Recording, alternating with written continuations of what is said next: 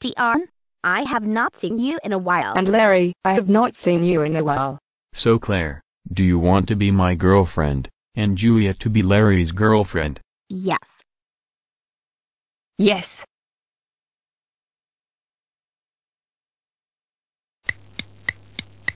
So Dion and Larry, did you both have a great day at school? It was great. I got a girlfriend named Claire. And I got a girlfriend named Julia. What? Dion and Larry. How dare you get girlfriends without letting us know? That's it.